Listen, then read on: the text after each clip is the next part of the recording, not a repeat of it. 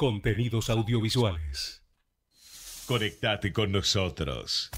Facebook.com barra Ecomedios 1220.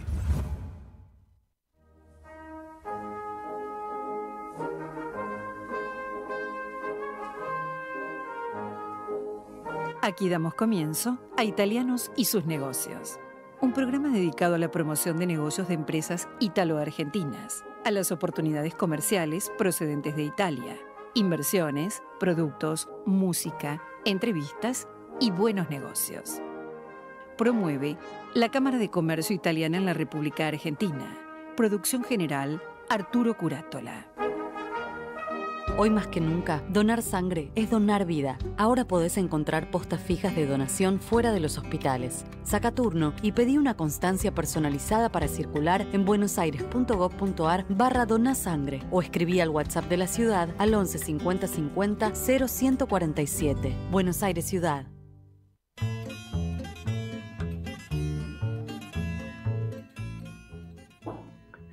Estimados oyentes, tengan ustedes muy buenas tardes. Un nuevo programa de Italianos y su negocio, programa este de la Cámara Italiana de Comercio en la República Argentina. Y les habla Arturo Curátola y con la conducción del doctor Francisco Tosi, literato y economista. Francisco, ¿estás por ahí? Buenas tardes Arturo, hoy estamos con una agenda cargadísima. Tenemos a Germán Lanfredi de la empresa Archivar que nos va a hablar del software y herramientas para trabajo remoto, el doctor Álvaro Galli, socio, del estudio Becar Varela, para hablar de la reglamentación de la ley de teletrabajo y nuestro querido Claudio Farábola para cerrar con todas las novedades y noticias de la Cámara de Comercio Italiana en Argentina. Bueno, efectivamente, tenemos una gran agenda cargada. Empezamos por decir qué es la Cámara de Comercio Italiana en la República Argentina y que ha cumplido nada más y nada menos que 137 años, que es una parte de las 81 cámaras que estamos distribuidos en 57 países. Nuestra Cámara es un centro de negocios constituido no solamente por las cámaras que están en el resto del mundo, sino por las cámaras propiamente en Italia, y así también por las cámaras binacionales en la República Argentina, donde hoy hemos tenido una novedad que después vamos a comentar. También formamos parte de la Eurocámara, la cual en este momento llevamos la presidencia, y también formamos parte de Cámara Confederación Argentina de la Mediana Empresa. Es decir, estamos eh, constituidos en un centro real de negocios que nos permite tener eh, una mirada hacia todos los negocios del mundo y locales. Que creo que estamos bien posicionados, por esa razón distribuimos todas nuestras radios en el interior de la provincia de Buenos Aires. Adelante, Francisco. Bueno, justamente a lo que decías vos, el interior de la provincia de Buenos Aires, mandamos un saludo tan especial a AM660 Radio Amplitud, a AM1560 Radio Antena, a AM1140 Radio La Luna, a AM1140 y FM 97.1 Radio Tandil. O sea, amigos al oeste, al sur, eh, y al centro de la provincia de Buenos Aires, como vos estabas planteando. Sí, digámosles a la audiencia que estamos trabajando a ciegas. Vos en tu casa, yo en la mía, y claro, esto lo hace posible nada más y nada menos que Gerardo Subiraga, el técnico en los controles, que ya nos conoce hasta cómo respiramos, y entonces posibilita esta coordinación. Gracias, Gerardo hay que agradecer especialmente a Gerardo que además este, en todo tipo de condiciones siempre nos ha apoyado y ha venido a trabajar. Si te parece Arturo podemos dar el número de teléfono de la Cámara de Comercio Italiana en la Argentina, 4816-5900. ¿Te parece que demos el WhatsApp también? Adelante. 11 404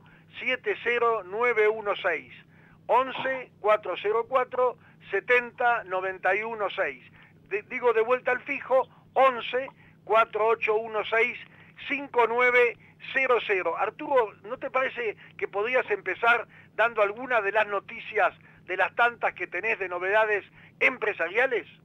¿Cómo no? Y empezamos por los huevos. Dice que cada hombre en la Argentina, cada ser humano en la Argentina, come nada más y nada menos que 274 huevos por año. No sé, en Argentina me parece mucho, pero bueno, hay una exportadora que es nada más y nada menos que la empresa Granja San Miguel, que es una empresa familiar, que comenzó a exportar en el 2017 pero que opera ya desde 1969.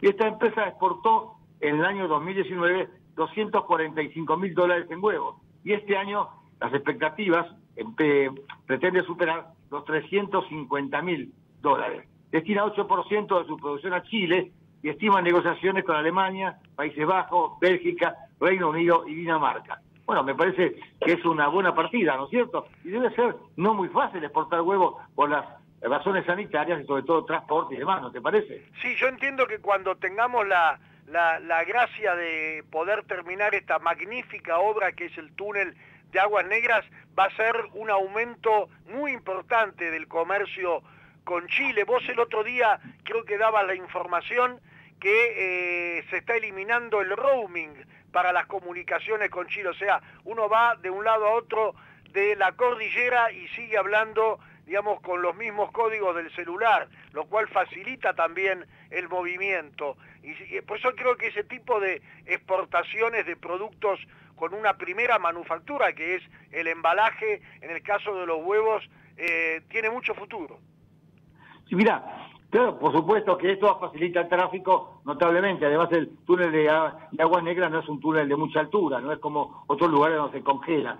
Es probable, no, probable, seguramente, porque además viene el camino que viene desde eh, Brasil, que facilita el comercio desde Brasil, Argentina y Chile. O sea que es un camino realmente importantísimo que está eh, con préstamos internacionales y seguramente se está continuando su trabajo. Bueno, digamos que de granos se han descargado en el complejo portuario de Bahía Blanca durante la última semana, que esto lo reportó la Bolsa de Cereales y Productos Local, ingresaron 5.493 camiones y 1.976 vagones de ferrocarril.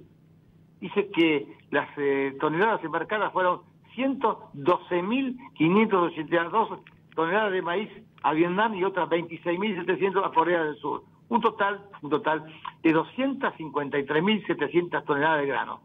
Nosotros somos privilegiados, la tierra que tenemos y la posibilidad que tenemos de hacer negocios con esto de los granos, ¿verdad? Estamos hablando nada más y nada menos de que pocos días, ¿no es cierto? Bueno, una maravilla de la Argentina, que, bueno, nosotros estamos acostumbrados a estos avatares tremendos del país.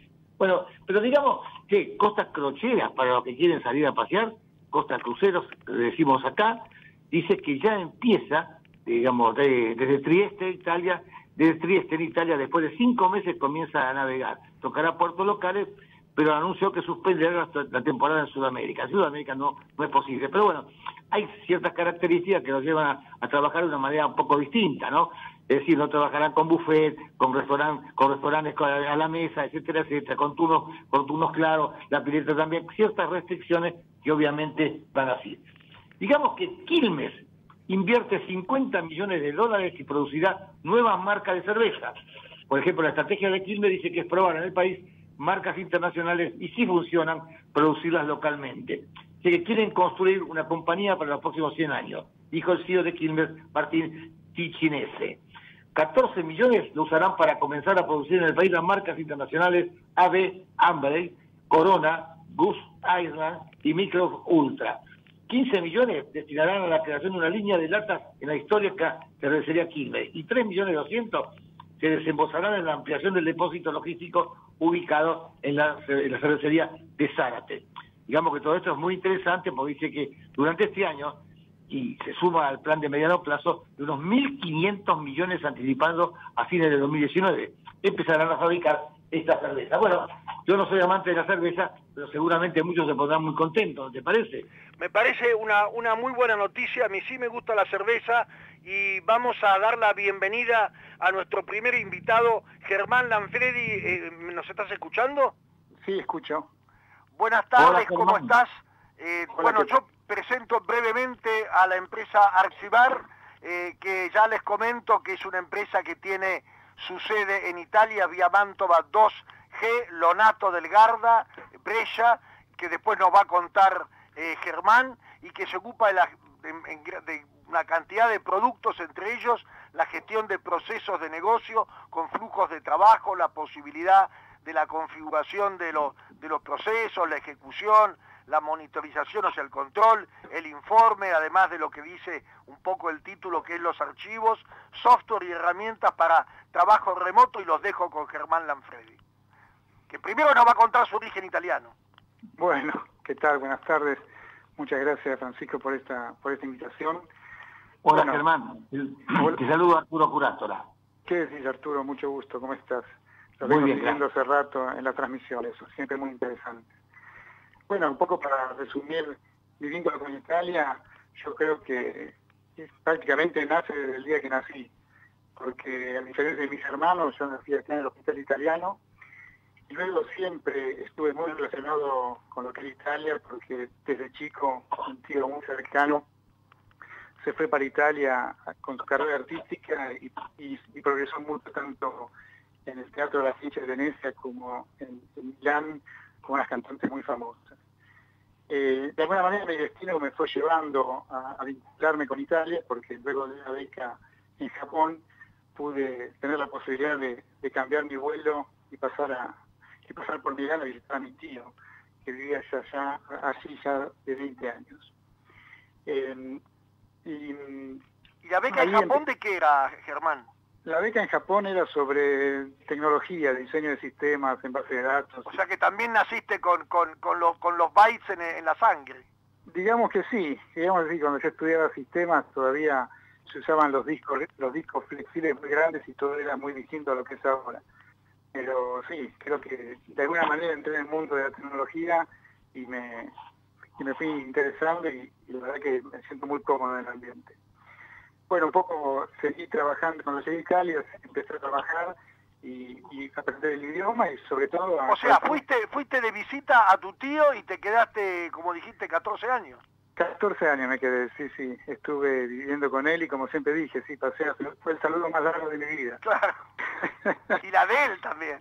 la de él también, sí, pero bueno, fueron años muy, de mucha experiencia, de mucho crecimiento profesional, sobre todo viviendo en Milán, con una cultura del trabajo de todo lo que es el norte de Italia muy importante y muy focalizados en, el trabajo profesional y, el crecimiento industrial sobre todo. Y bueno, hasta que un día regresé a la Argentina, todo fue una casualidad porque recibí un mail de, una amiga, que para mí no lo era, y me dejé llevar por el corazón y volví en el 2004 para Argentina, donde formé una familia, y siempre tratando de seguir vinculado con Italia. De alguna manera, mi hija estudió en la escuela italiana para poder este, seguir estando vinculado con la cultura. Y bueno, y a principios de este año finalmente me vinculé con Arcibar, que es una empresa que nace en, la zona de Brescia, en el norte de, Italia, en, la región Lombardía, y con una idea muy eh, innovadora para la época, porque ellos se focalizaron en crear un producto para la digitalización de documentos. Hablamos del año 2002. ¿Un producto para, dijiste, discúlpame? digitalización de los documentos. Así, así empezaron. Después fueron creciendo y, agregando más funcionalidades, siguiendo un poco el crecimiento tecnológico, ¿no? Porque lo que tiene Arcibar es que dedica un 70% de su personal a la investigación y, al desarrollo para mantenerse siempre con plataformas, este, digamos, de última generación. Hoy, la plataforma que ofrecemos al mercado te permite eh, conectarte desde cualquier dispositivo y poder acceder a los documentos que, que, maneja en forma centralizada. Y, lo más importante es que tiene un motor de búsqueda documental que te permite con, pocos parámetros acceder a toda la documentación. Hablando, hablando antes, este, Germán, hacíamos una, una, simplificación para tantos, tantos oyentes, algunos como yo, que no son muy eh, avanzados en, en, los desarrollos digitales, que antes los, digamos, los, todo se hacía con papel, se guardaba el papel, después se microfilmaba el papel, después se ponía en cintas, bueno, y ahora es todo digital y hasta uno puede ir con la documentación, el seguro del auto, eh, la, la, cédula de identidad, la licencia, todo digital. Y contanos un poco cómo sería esto, eh, una organización en la empresa. ¿Uno a qué podría acceder, por ejemplo? Tal cual, como vos decís, ahora es todo automático y es impensable seguir manejando los, documentos en, papel. eh, y podrías tranquilamente eh, tener tu, fuerza de venta distribuida en el territorio y mandando por, por un celular con, tres o cuatro, completando tres o cuatro campos, ya mandar un pedido eh, a tu sede central que te la preparan y te la, te la mandan el mismo día o lo puedes ir controlando. Este, todo, todo directamente desde el celular conectándote a través de una plataforma de vía web, ¿no? Claro. ¿Y cómo, digamos, eso fue obviamente un, enorme avance de productividad, ¿no? ¿Y cómo se vincula ahora con las necesidades del trabajo remoto que aumentan todavía esa necesidad? Bueno, eh, en estas circunstancias esto fue realmente muy muy importante poder contar con, una plataforma de este porque más de una empresa de un día para otro se encontró que no podía tener acceso a sus documentos que habían quedado guardados en sus archivos físicos y bueno, ahí pudimos eh, a partir de, la digitalización de los documentos pudimos empezar a ofrecer a las empresas el acceso, a toda esa documentación en tiempo real y tratando de, seguir este, eh, automatizando los procesos, sobre todo llevar, llevar los procesos manuales a procesos automáticos y todo digitalizado y monitorizado por, por un sistema centralizado que a su vez te permite identificar eventuales eh, de botella donde tus documentos quedaron eh, más tiempo del necesario. O sea, no solo es una herramienta que mejora el trabajo, sino que además te permite eh, monitorear tus procesos en tiempo real. Y si tuvieras que decir en qué nivel estamos en la Argentina comparado con otros países de la región y comparado con Italia, ¿cómo nos podrías definir? Bueno, yo creo que estamos, tanto en Argentina como en la región, estamos en un momento ideal para implementar este tipo de herramientas porque hay mucho por hacer y hay muchas este, empresas que no, que no están, que no cambiaron eh, su cabeza para hacer todo de forma digital. En Italia ya están mucho más avanzados y Arcibar es uno de los pioneros en la, en la gestión de la, de la factura electrónica, donde acá todavía, más allá de, que, de la que la puedas hacer, todavía la gente lo recibe y la sigue imprimiendo. Pero la factura electrónica hoy prácticamente es obligatoria. Sí, sí, sí, básicamente es obligatoria, pero de, ahí a que la venga, que, su gestión sea completamente digital, todavía hay mucho por hacer.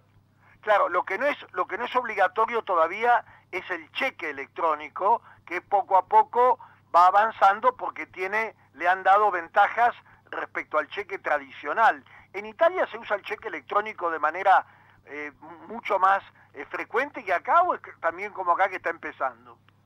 No, no, allá también se usa de manera más electrónica, pero hay muchos muchos pagos que ya se manejan de manera electrónica directamente, incluso están alineadas las el correo italiano ya está alineado para recibir pagos y manejar todo ese tipo de transacciones.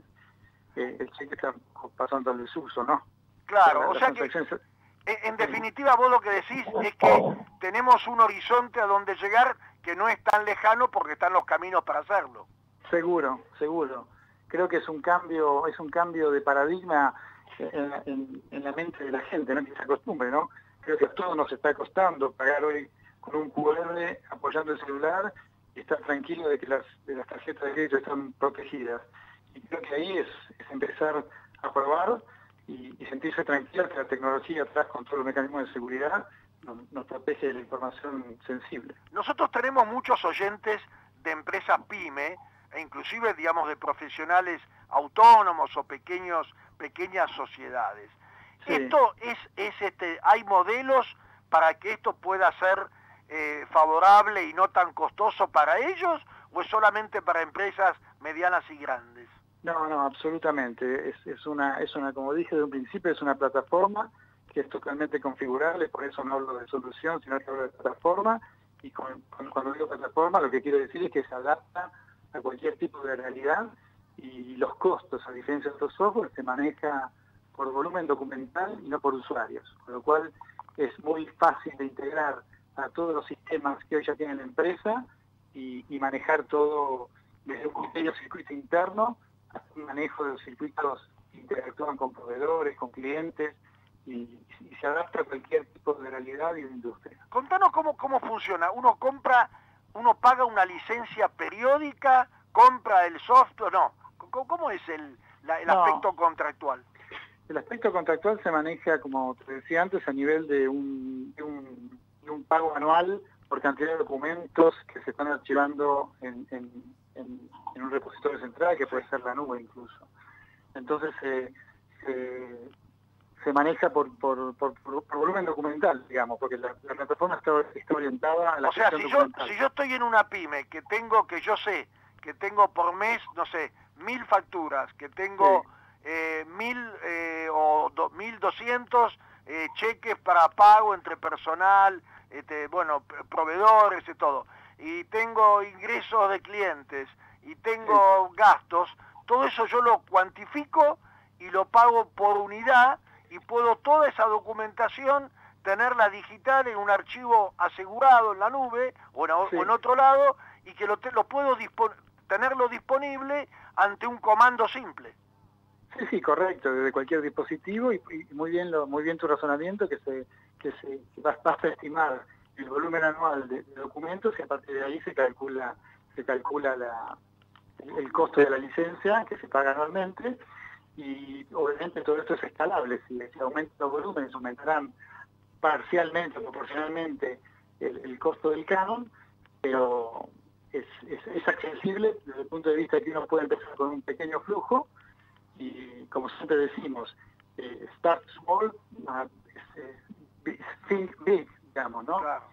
Con la misma herramienta vas a poder implementando todas tus necesidades. Ahora, yo, nosotros sabemos tanto vos como, como yo, y bueno, Arturo también, por supuesto, que en Italia hay muchos trámites ante la administración pública que se pueden hacer digitalmente, ¿no? Inclusive autodeclarativos, sin tener que llevar el papel y todo. ¿Ustedes están o, saben si se está trabajando en algo similar acá o no? Mira, la verdad que no, no, no tengo información detallada de eso, pero seguramente Argentina siempre sigue mucho la tendencia de lo que pasa en Italia, con lo cual se está tratando de, automatizar y sobre todo en ese periodo donde se dieron cuenta las administraciones públicas que necesitan eh, automatizar de la mejor manera todo. Permitime, Francisco, permitime, Francisco, que haga una mención. El gobierno de la ciudad de Buenos Aires automatizó aproximadamente el 90%. Antes había que hacer mil cosas y hoy se hacen todas por Internet a veces no es tan fácil, pero bueno, digamos, no es tan fácil porque uno no está capacitado con, a fondo en este sistema, pero ha, este, por ejemplo, ha reducido prácticamente la compra de papel a un 95%. Mirá lo que te digo, porque todo se hace a través de Internet. ¿Querés una partida de nacimiento? La sacás de una manera. ¿Querés un ah, permiso de, circulación para automotor, eh, digamos, de excepción? Lo sacás. O sea, todos los trámites, la mayoría el gran porcentaje se está siendo automatizado en la ciudad de Buenos Aires y entiendo que en otras, en algunas provincias, también en la provincia de Buenos Aires, algunos se están haciendo. A nivel nacional, por supuesto, que también se están haciendo algunos cambios. O sea, de poco a poco se va implementando este sistema, como vos decís, muy, muy fuerte en Italia y aquí estamos también avanzando a pasos gigantados, ¿no? Sí. Claro, y, en el comercio exterior, por ejemplo, en Italia hay mucha digitalización en el sentido que interactúan con aduanas de otros países y todo, o es en cambio como acá que todavía está bastante restringido eso y autónomo? No, ya el otro día me, pasó que para seguir la multa, una multa de tránsito se hace todo a través de la web y eso sería un comercio internacional porque reclaman el pago de una multa y todo lo está siguiendo por la web desde Italia. Con lo cual desde el pago, que incluso te, te, aparece un, portal donde está todo en español porque ya saben que que vos tenés que pagar esa multa en español. Ah, una multa que hiciste, una infracción que cometiste en Italia. Sí, una multa que cometió un amigo mío en Italia y se maneja todo por, por la página web. Y automáticamente... Ya saben que, estás en, que, estás en, que está el amigo tuyo en, un lugar de habla hispana. Claro, tal cual. Y eso ya está todo automatizado, con lo cual podés ver si llegó el pago, si se acreditó contra, contra tu infracción y, y liberarte de cualquier deuda. Bueno, yo creo que en, cualquier momento van a hacer este programa, Arturo, también con, con dos robots que ya saben lo que, lo que, lo que hay que decir y conectar en cada momento, ¿no te parece? Bueno, sí, no es fácil, pero de alguna manera se va a ir implementando algún sistema que sea parcialmente, no totalmente, porque el hombre existirá siempre y podrá hacer su, su trabajo. Sí, yo, creo que se van a ir automatizando, ¿no? Yo creo que no hay que tener no hay que tener miedo a la tecnología porque lo no es que le saque trabajo al hombre, sino que le, ofrece un trabajo más calificado y, gratificante, yo creo. Con lo cual hay que, hay que seguir la tecnología y, avanzar. Eh, acá en el, en, el, en el sitio mismo de la empresa en Italia, hablan de distintos, digamos, productos que siempre eh, tienden a la gestión de documentos y la gestión del proceso, ¿no? Sí, correcto. Abierto y completo. ¿Qué quiere decir eso? Abierto y completo, como decía antes, significa que se puede parametrizar para las necesidades que uno tiene y además podés interactuar con tus sistemas gestionales y de esa manera no tenés ningún tipo de barrera para conectar tu información que ya tenés circulando con nuestra plataforma. Claro, y, independiente del dispositivo quiere decir que permite que, bueno, aparte del celular que vos comentabas antes, pero inclusive una, un dispositivo como una laptop o una computadora, aunque no sea previamente identificado y reconocido? No, no, tal cual. Vos, vos tenés como tres categorías que son el celular, la, notebook o, una tablet. El sistema automáticamente se va a configurar para el dispositivo desde donde vos estés consultándolo y es totalmente automático porque se hace a través de páginas web y son lo que se llaman las soluciones responsive que se acomodan al dispositivo del cual estás consultando. Bueno, ¿y PayPal facturación electrónica de qué se trata? El PET, no, eso es, como te decía, es un tema específico de Italia. Ah, ah. E, eso es, eh, que es el proceso de facturación que se, que que interactúa con, la, con el correo italiano. ¿Y ustedes lo tienen acá también? ¿Lo van a hacer? Mirá, eh, dependemos de la normativa y que lo acepten, con lo cual siempre proponemos las, los avances de Italia, pero estamos un poco vinculados a que las, la normativa nacional nos permita avanzar en ese sentido. Bueno, magnífico. Le deseo, te, deseo mucha, mucha suerte y que, bueno, ahora que estamos en, en época de aislamiento obligatorio, tengan la oportunidad de mostrarle a los empresarios, a los profesionales, la utilidad de esas herramientas y te agradezco muchísimo la participación en nuestro programa. Así que despedimos a Germán Lanfredi de Archivar. Muchas gracias. Muchas gracias, a ustedes. Muchísimas gracias por este espacio. Gracias. ¿eh? Vos sabés, Francisco, que hace 25 años atrás aproximadamente, yo en Japón quedé asombrado cuando estaba la casa inteligente. La casa inteligente era que el señor llamaba desde su oficina y ponía en marcha, primero abría las ventanas, las corría, ponía las cortinas y hasta ponía en marcha en aquel tiempo el horno para poner tal o cual comida que había dejado y cuando llegara estuviese ya cocida. Fíjate, estamos hablando de 25 años atrás, ¿no es cierto? Imaginemos ahora con lo que es realmente la tecnología. Pero vamos a la noticia, ¿te parece bien, Francisco? Vamos al corte, perfectamente, Arturo. Adelante, Gerardo.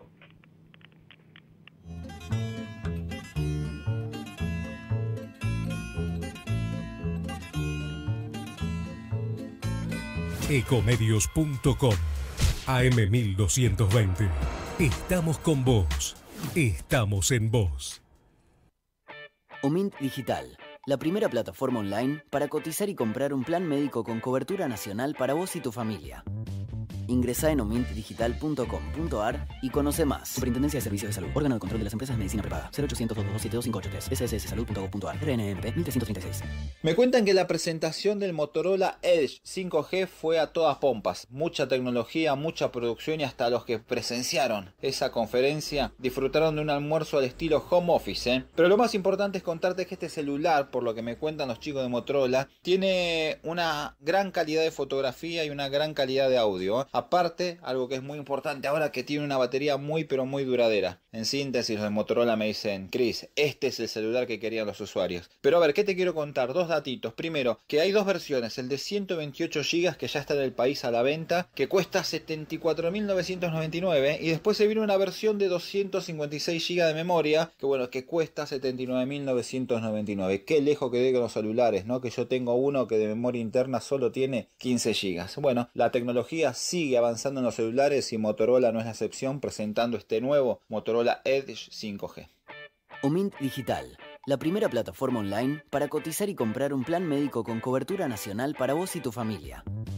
Ingresa en omintdigital.com.ar y conoce más. Superintendencia de Servicios de Salud. Órgano de control de las empresas de medicina prepaga. 0800 227 sssalud.gov.ar. RNMP 1336. Descarga gratis de tu celular la aplicación Ecomedios.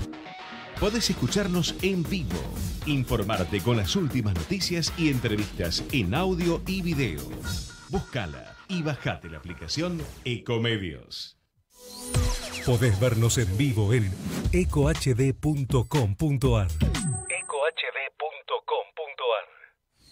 Conectate con nosotros. Contestador 5 254 2353. Bueno, estamos de vuelta. Francisco, ¿te acordás que el otro día tuvimos entrevistando a Chicho Mazota, el ingeniero que nos habló de Ferrari? Perfectamente. Y él nos aseguró que Ferrari andaba mal. Ahora resulta que dice que es el peor momento en cuatro décadas de la marca que ganó originalmente 16 títulos mundiales de constructores. 40 años, el peor momento. Dice que el motor y la aerodinámica causa del fracaso de Ferrari. Dice que es un desastre lo que ha pasado. Realmente tiene que volver a replantearse totalmente Ferrari, la competencia es feroz. Bueno, dice que tienen que aprender de sus errores. Esta temporada les enseñó algo. Pero qué cosa, ¿eh? Se ha vuelto realmente un, un, fracaso todo lo que ha hecho hasta el momento. Pero fíjate lo que es la sofisticación y el nivel de trabajo en equipo, que ellos dicen que ya esta temporada está perdida y aún no terminó y van a trabajar para el 2021. Así que creo que antes que empiece la temporada de Fórmula 1 tendríamos que volver a, a llamar a nuestro amigo para que nos cuente qué se puede esperar. Bueno, él dijo que esta temporada estaba perdida, por supuesto, y que bueno, había que ver qué tecnología le aplicaban, él como ingeniero mecánico, qué tecnología van a aplicar para cambiar todo eso, pero parece que es un cambio radical. Parece más o menos como el club de Messi, ¿no? Me parece que van a cambiar todo. Parece, ¿verdad? parece lo mismo. Bueno, sigamos con buena noticia, ¿qué te parece? Perfecto. El gigante asiático, o sea, China, necesita importar entre 80 y 100 millones de toneladas anuales para alimentar sus cerdos solamente. ¿Sabés quién nos abastece? Estados Unidos, Brasil y la Argentina. O sea que las posibilidades con China cada día son más grandes para nuestros este, gente de campo. Digamos también que Bioceres, que es una eh, empresa que se dedica a, a las semillas, que originalmente pertenecía a Singenta Agro, compró y activó una planta de semillas en General Alvarado la ballenera Singenia Agro, que está ahí, eh, bueno, eh, digamos que invirtió 100 millones de dólares y para activar esta planta que estaba cerrada de fin del 2019. La empresa eh, que lleva el 40% para considerarla como proveedora de semillas en contraestación, capacidad clave para acelerar, acelerar lanzamientos tecnológicos. Digamos que en lo que va del año ha caído la construcción, pero hay una mirada digamos, de esperanza, de tal manera que los productos de construcción están creciendo. Si bien la construcción cayó el 12,9% eh, de actividad en julio, pero están ya comenzando a levantar todo lo que son los materiales. Sigamos también hablando que maquinaria agrícola se recupera las ventas gracias a mayor financiación. Habíamos hablado algo el otro día, pero crecieron en el primer semestre del año 16,9%. Los créditos del Banco Nación impulsan al sector. Se necesitan renovar el parque de unidades luego de más de dos años de retroceso. O sea que hay muy buenas posibilidades de seguir avanzando. Autos. Crece la producción y la exportación.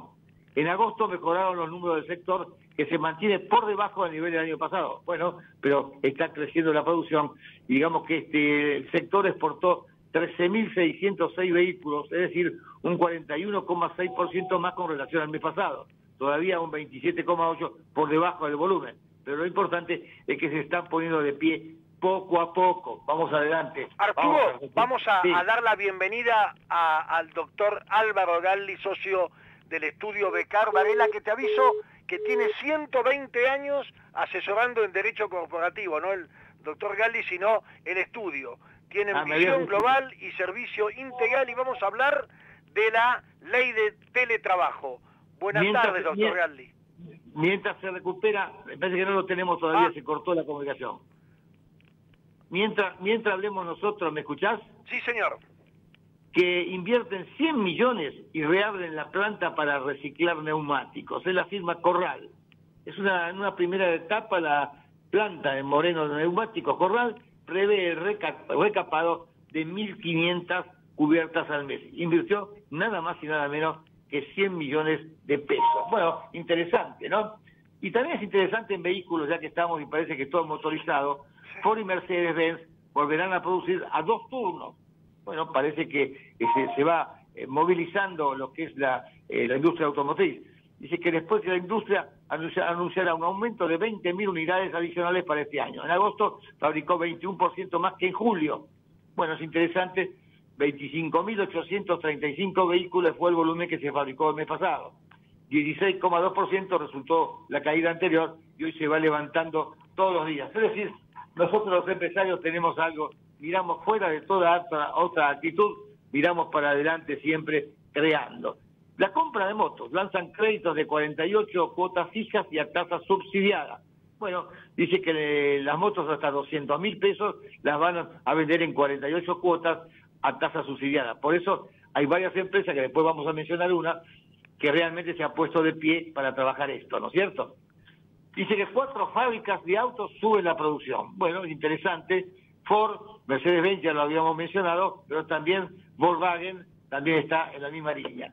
Vamos, ya que estábamos hablando de, motos, vamos a decirlo rápidamente. El grupo Simpa invirtió 700 millones para fabricar las motos Roger Engines en el país.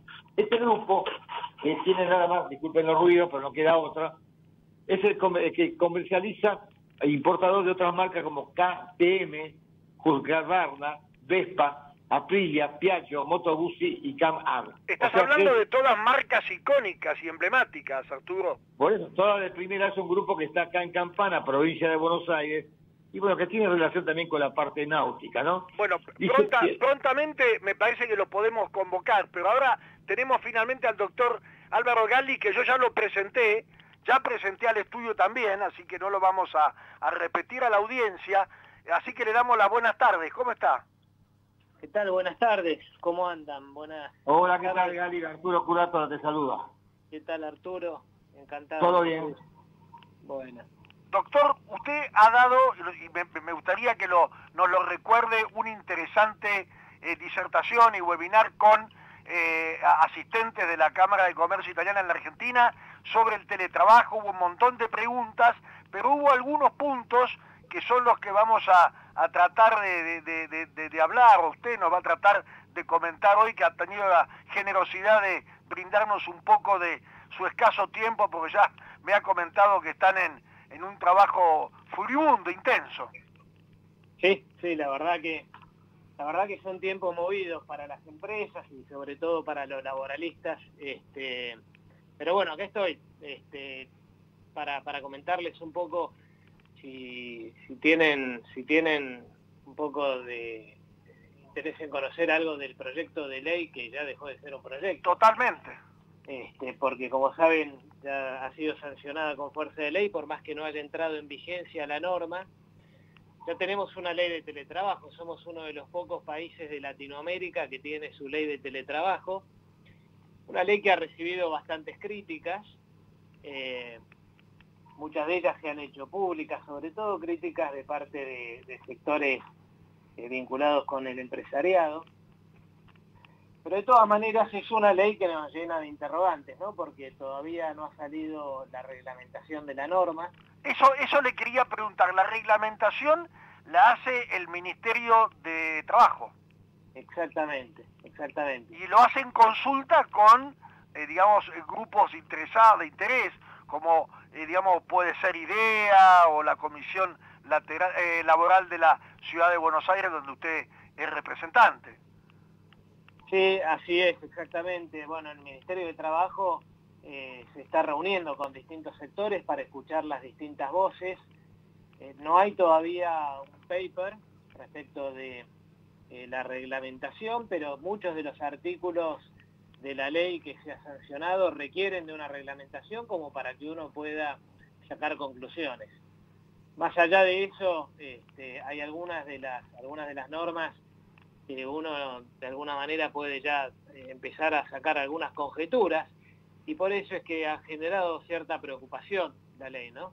Después, si quieren, vamos a repasar los tres, cuatro artículos más polémicos. Eso, eso, vayamos a eso directamente, sí. Bueno, a ver, uno de los puntos que, que más se le cuestionó a esta ley, este, esta ley de teletrabajo es, es el tema de la jornada laboral y de la desconexión digital. Básicamente porque establece una serie de diferencias entre los trabajadores presenciales y los teletrabajadores. Estas diferencias tienen que ver con una serie de restricciones que, por ejemplo, se le impide al empleador mandarle a los teletrabajadores cualquier tipo de comunicación fuera del horario de trabajo. Ustedes saben que hoy en día es lo más normal del mundo mandarle un correo electrónico a un empleado para que ese correo sea contestado al día siguiente, en cualquier momento. Muchas veces los empleados están en copia dentro de una cadena de mails, este, en compañías donde hay eh, empleados diseminados en distintos países del mundo y entonces sale un mail en Hong Kong a las 2 de la tarde y acá el empleado argentino lo recibe a las 2 de la mañana, lo lee cuando empieza su jornada laboral. Así es como funciona hoy en día el mundo del trabajo. ¿Y estaría prohibido eso? Esta ley de teletrabajo exactamente. Por un lado, establece el derecho a la desconexión, que es el derecho del empleado a desconectarse de los dispositivos móviles al finalizar la jornada, pero también obliga a los empleadores a establecer dispositivos móviles que le impidan a los empleados conectarse fuera de la jornada. Y asimismo, se le prohíbe a los empleadores enviarles cualquier tipo de comunicación fuera de la jornada laboral. ¿Esto qué significa? Que en el ejemplo que yo había dado, estaría bajo, bajo, bajo la ley actual, estaría prohibido, porque ese empleado estaría recibiendo un correo electrónico, por ejemplo, a las 2 de la mañana, 3 de la mañana, en el horario que fuera, y la ley esta lo está prohibiendo. Insisto, hay que ver qué es lo que dice después la reglamentación, pero ustedes saben que la reglamentación, por principio, no puede modificar la norma. Claro, porque si no estaría legislando el Ministerio de Trabajo. Exactamente, exactamente. El Ministerio de Trabajo puede reglamentar sin modificar la norma y la norma en ese sentido establece una pauta que es bastante clara. Este es uno, ha sido uno de los puntos más polémicos de la ley, no el único, por supuesto, ¿no? Otro de los... Una cosa importante es cuándo va a entrar en vigencia esta ley. Bueno, la fecha de entrada en vigencia está prevista para cuando se cumplan 90 días desde la finalización del ASPO. El ASPO es el aislamiento social preventivo y obligatorio más comúnmente llamado la, cuarentena, digamos. Ahora, ¿qué eh, pasa cuando entra en vigencia una ley y no está reglamentada? Bueno, hay artículos que, digamos, su entrada en vigencia no depende de la reglamentación, porque hay artículos que son operativos, digamos. Cuando la, el artículo dice, por ejemplo, que el empleador no le va a poder enviar a los trabajadores ningún tipo de comunicación fuera de su jornada laboral, esa es una norma lo suficientemente clara, digamos, no requiere reglamentación. Muchas veces se lo reglamenta para tratar de matizar algún aspecto de una norma o cuando la norma en sí misma no puede entrar en vigencia hasta tanto sea reglamentada.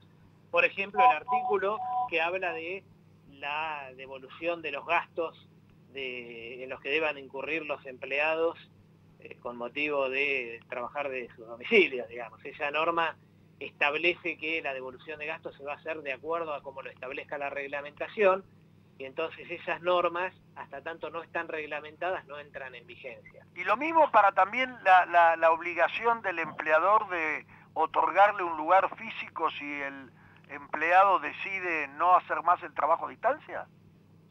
Sí, bueno, ese, es otro de los puntos muy polémicos de la ley, ¿no? El, se, lo llama el derecho a la reversibilidad.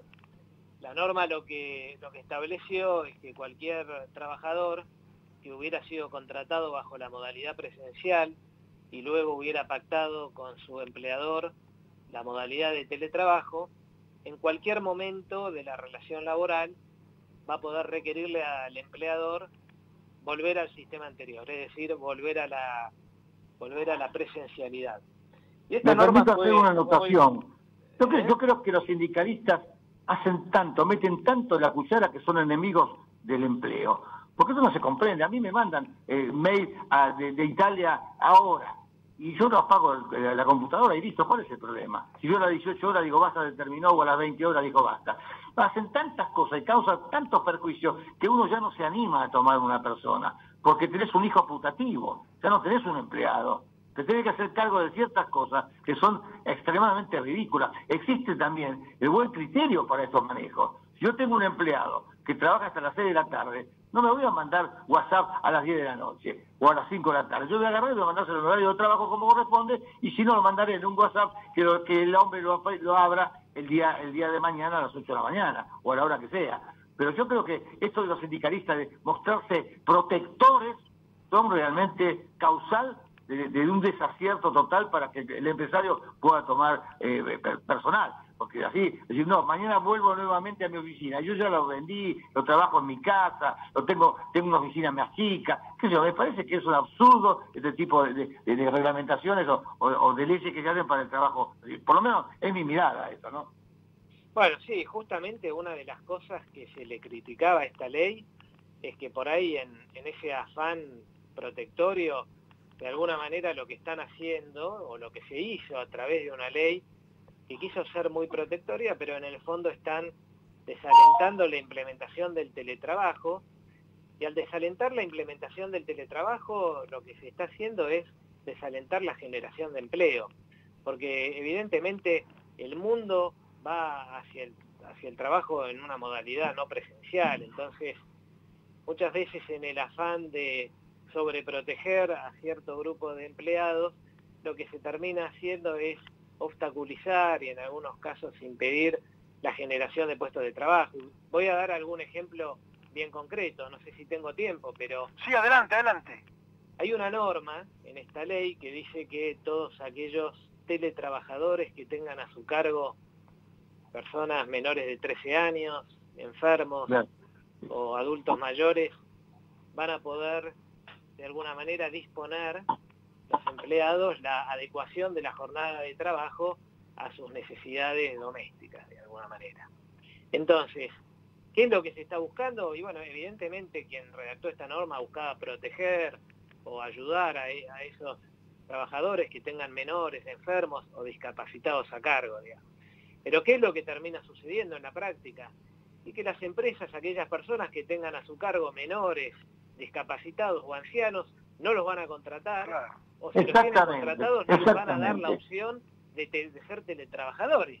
¿Por qué? Porque respecto de esas personas, el empleador pierde una de las de los derechos, de las potestades más importantes que tiene una empresa, que es la de poder disponer cuáles son los horarios de trabajo. Entonces, al querer sobreproteger a ese grupo, lo que lo están haciendo es dificultar el acceso a puestos de trabajo porque van a perder competitividad respecto de otros empleados que no tengan estos riesgos. Seguro, doctor Galdi, una última pregunta. hay que hacer un, o sea, hay que hacer un contrato de teletrabajo o uno está trabajando presencialmente una vez que termine el aislamiento y, voluntariamente va a hacer el teletrabajo. ¿Hay que, hacer, ¿Hay que establecer un contrato? Sí, el contrato de teletrabajo se va a tener que hacer por escrito y se va a tener que fijar la jornada laboral por escrito. Es decir, lo que hoy estamos haciendo, todos estamos trabajando, la mayoría de nosotros desde nuestras casas, no es eh, estrictamente teletrabajo, lo que estamos haciendo hoy es un, trabajo a distancia eh, en circunstancias extraordinarias, pero justamente esta ley está previsto que entre en vigencia los 90 días de finalizado el aislamiento, porque lo que se pretende es quitar la, la situación de coyuntura bajo la cual muchos hoy estamos trabajando desde donde podemos. Y lo van a formalizar. Tal cual.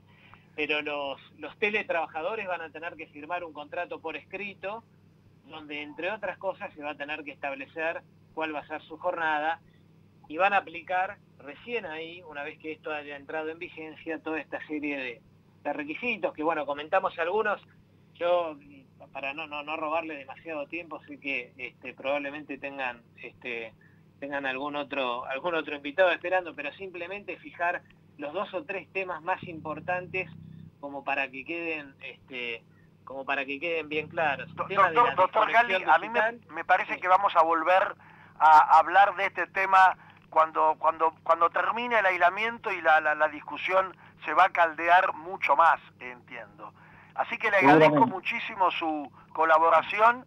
Ha sido el doctor eh, Galli, que, socio del estudio Becar Varela, que nos está ayudando a poder eh, entender para dónde va a ir la reglamentación de la ley de teletrabajo. Doctor Álvaro Galli, muchas gracias. Al contrario, el agradecido soy yo. Un abrazo grande y seguimos en contacto. Gracias, un abrazo. Gracias Álvaro, buenas tardes. Hasta luego, buenas tardes.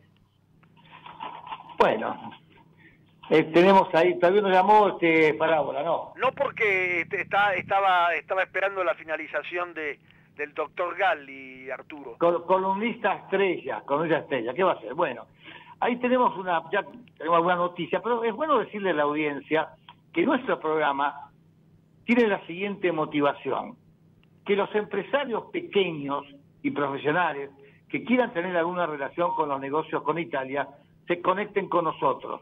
Ahora hay una categoría de socio eh, digital que vamos a explicar en otra oportunidad más detenidamente, y que realmente hagan la posibilidad de que nosotros le ofrezcamos todo este centro de negocios mundial que tenemos y que podemos ayudarlo. Mira, hoy llamé a una cámara de comercio eh, colega, ¿no? Entonces le pregunté, mira, necesito tal información de tal país, de tu país. Digo, bueno, yo te paso con el país de origen y vos le pedís el informe y vos le, te van a cobrar. O sea, nosotros somos una cámara distinta, tenemos llegada a una cantidad de países, 57 como lo mencionamos, y que nosotros interconectamos a las cámaras en 57 países, pasándole para que busquen la información que corresponda. Vamos, vamos a un caso práctico, Arturo, que lo tenemos a Claudio Farábola en la línea.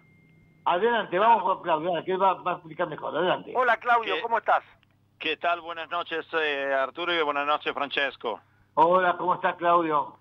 Bien, bien, bien. Por Claudio, contanos, contanos, lamentablemente estamos un poco apretados por el tiempo, pero contanos la magnífica agenda de la Cámara de Comercio Italiana en la Argentina. Bueno, brevísimo, ya que estaban hablando de promoción de exportaciones, etcétera, eh, quería comentarle que hoy hubo para nosotros la primera reunión del Consejo de Promoción de Exportaciones, coordinado por Cancillería y la Cámara obviamente participó como Cámara Bilateral eh, y donde se mencionó nuestro programa, este programa, como una herramienta de promoción de exportaciones.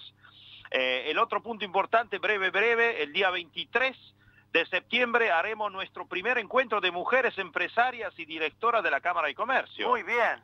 Es un trabajo muy importante, coordinado por la licenciada Gabriela Terminielli, que es también eh, codirectora del Woman Corporate ha estado en nuestro programa. Exactamente.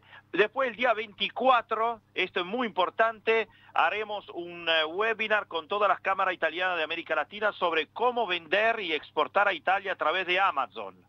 Esto es muy importante, puede ser una muy buena ocasión para las empresas PYME argentinas eh, con también la herramienta del exporta fácil argentino, así que veremos un poco cómo tratar de favorecer estas exportaciones más chiquitas.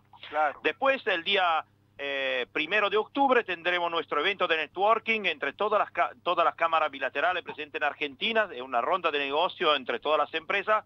Apúrense porque el 30 de este mes se cierra la inscripción. Bueno, falta todavía para el 30, faltan 20 días. Eh, pero hay que apurarse, si ah, no después se llenan y la plataforma se, se traba, como se dice. no, es verdad, es verdad, es verdad. Lo repetimos toda la semana porque es una ocasión de verdad muy importante para todas las empresas, las pymes sobre todo, de poderse conectar en Argentina también, que es un negocio más fácil, más cercano. Y por último, el día 21, 23 y 25 se realiza en Argentina el Business Transformation Forum, es un foro muy importante que organiza la Cámara Americana, la AmCham, con la cual tenemos una muy buena relación de colaboración y bueno, todos los que quieran participar de este evento, es un evento pago, pero para quien viene socio de la Cámara de Comercio Italiana, eh, como socio de AmCham, algunas plazas. Exactamente, hay un precio especial y hay algunas plazas. Así que son, es un momento... son tres días. Exactamente, son tres mañanas, es un momento muy importante, hay más de 20 expositores internacionales, es un momento de reflexión sobre dónde está yendo el mundo en este momento de transformación, sobre la transformación digital y de negocio que estamos viviendo. Y así que... Contanos hoy, eh, hoy con, con quién estabas hablando de Centroamérica, Claudio. Hoy hubo el BIS de una reunión, estuvimos con una reunión de presentación de las oportunidades de Argentina con la Cámara de Comercio Italiana en Guatemala. Eh, la Cámara de Guatemala coordina todas las cámaras de, Centroamérica eh, hicimos una presentación eh, al revés, presentando de qué es lo que estamos haciendo nosotros acá en la Argentina eh, y qué oportunidad de negocio podemos, podemos generar, porque como le habíamos anticipado, para el mes de noviembre organizaremos una segunda ronda de negocio y en particular trabajaremos con los países de Centroamérica. Claro, eso es muy bueno. Y, y contanos un poco esto del socio que había comentado anticipado Arturo y que hablaste algo el, el, programa pasado, pero me gustaría un dato más sobre el socio virtual, digital, lejano. Bueno, el, eh, bueno, estamos, como dijimos y, justo comentamos del tema del Business Forum eh, del AmCham, estamos viendo un momento de cambio muy importante. Eh, las tecnologías en este momento son una herramienta importante. Eh, sabemos que las pymes están sufriendo por un lado, pero por el otro lado es un momento importante para aprovechar estas oportunidades para abrir un nuevo mundo. La Cámara también, con, en pos de ayudar también a las pymes que están más lejanas del centro de información, que en este caso es Buenos Aires, etcétera, eh, hemos generado y hemos creado una nueva veste de socio, que es el socio digital. Una nueva eh, categoría. Exactamente, que paga una, una, cuota obviamente inferior, pero que puede acceder a todo lo que son los servicios digitales. ¿Qué son los servicios digitales? Los servicios digitales son todo lo, por ejemplo, toda la parte de capacitación, eh, después son, por ejemplo, todos los boletines informativos, la posibilidad de entrar en el sitio que terminaremos, digamos, a, que se inaugurará primero de octubre, nuevo sitio con la sección específica interna para socios con oportunidades de negocio, desinformación. O sea, cuando vos dices el nuevo sitio es el nuevo portal. Exactamente, el nuevo que portal. se llama cómo, así lo, lo, hacemos conocer. El portal es, nuestro portal será siempre igual, es ccibaires.com.ar eh, pero tendrá, lo estamos reestructurando y habrá una sección específica para los socios. Entonces, los socios digitales son las empresas PYME que pueden entrar ahí, ahí tienen informes. Por ejemplo, la Cámara colabora con muchísimas instituciones, entonces tenemos información de la Bolsa de Comercio, de CAME, de la Bolsa, eh, digamos, de la, de, la, de la Bolsa de Comercio, de AmCham, de la Cámara Canadiense, de la Cámara Brasilera, de Cancillería. De toda esa información, Exactamente, y, de por supuesto de la Cámara Europea, de la Delegación Europea, de los programas europeos. Bueno, esta información se condensará y se pondrá a disposición de los socios en esa sección. Entonces el socio digital es eh, la empresa PYME, por ahí le cuesta venir a Buenos Aires, con esa puede acceder directamente a todo eso, porque en este momento el, elemento fundamental es la información. Es muy complicado. Vamos, vamos llegando al final, que Gerardo me está haciendo señas, me está amenazando nos está amenazando, entonces yo eh, saludo, eh, saludo a los oyentes y saludo a Francesco muchas gracias, y Arturo. Claudio, por tu participación. Ha sido Claudio Farábola, director ejecutivo de la Cámara de Comercio Italiana en la Argentina. Y dejamos a Arturo Curátola el saludo del fin del programa.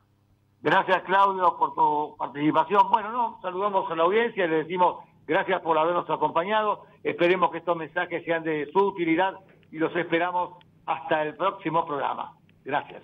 Hoy más que nunca, donar sangre es donar vida. Ahora podés encontrar postas fijas de donación fuera de los hospitales. Saca turno y pedí una constancia personalizada para circular en buenosaires.gov.ar barra donasangre o escribí al WhatsApp de la ciudad al 11 50 50 0147. Buenos Aires Ciudad.